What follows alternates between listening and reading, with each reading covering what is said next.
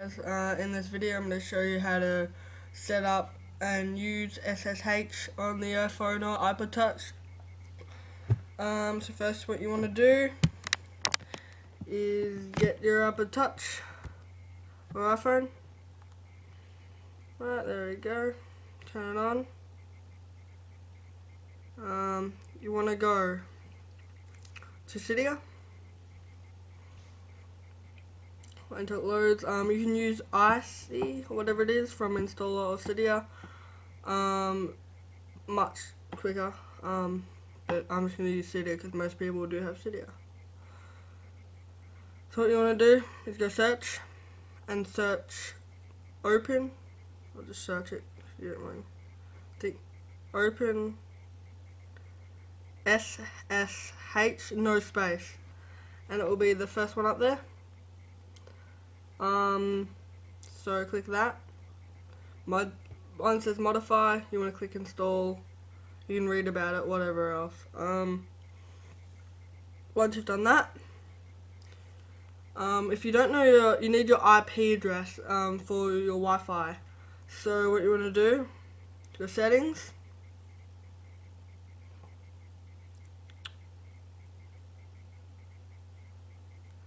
You want to go general. No, no, Wi-Fi. Wi-Fi. You want to know Wi-Fi?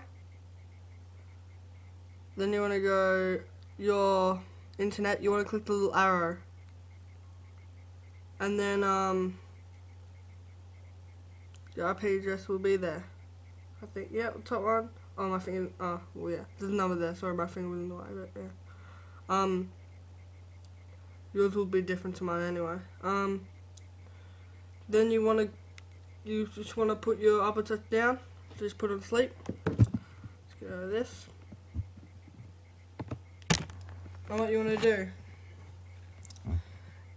And check out my um, check out my um, YouTube channel. Um, I'm doing this one again. I actually did it, as you can see, um, but it didn't work. You could only watch in HQ. So I'll probably leave that one on, but um. Anyway, you want to search Cyberduck. Cyberduck in Google. I'll put the URL in the um, description, but if you want to do it right now, just um, easily. And over here, just click on that, or the little, the little picture. Um, download it, pretty simple. Just want to get out of that right now. So once you have it, you want to go and put it in applications, just then it stays there. Be a little duck. I'm going to open that up. Um, now, if, if you don't know what SSH is, it's just basically, um, like, sending things between two machines, and the iPod Touch iPhone is a machine, basically. So you're do, type in your IP address. I'm not gonna type in my proper one because I can't be bothered getting it. And then the username this um will be on the um description. We'll type in root. And then for password, I'm gonna Alpine. A L P I N E. Alpine.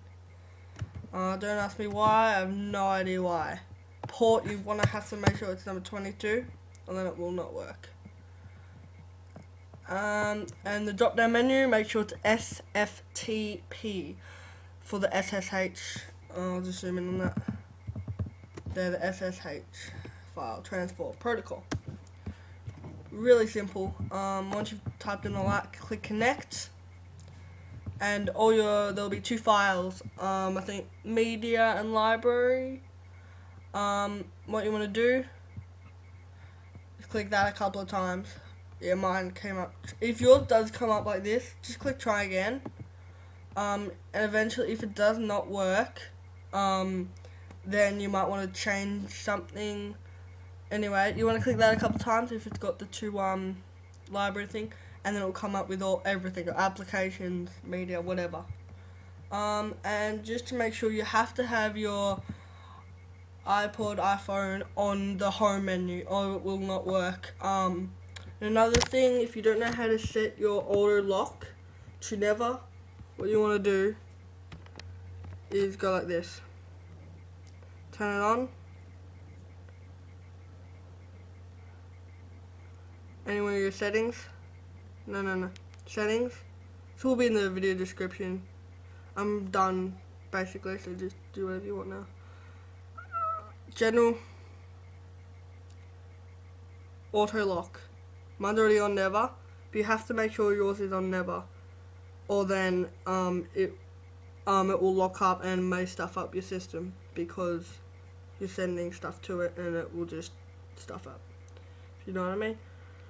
Um, thanks for watching. If you need any more help with anything to do with iPod touches or iPhones, just ask. Um, I'll make a video on it as soon as possible.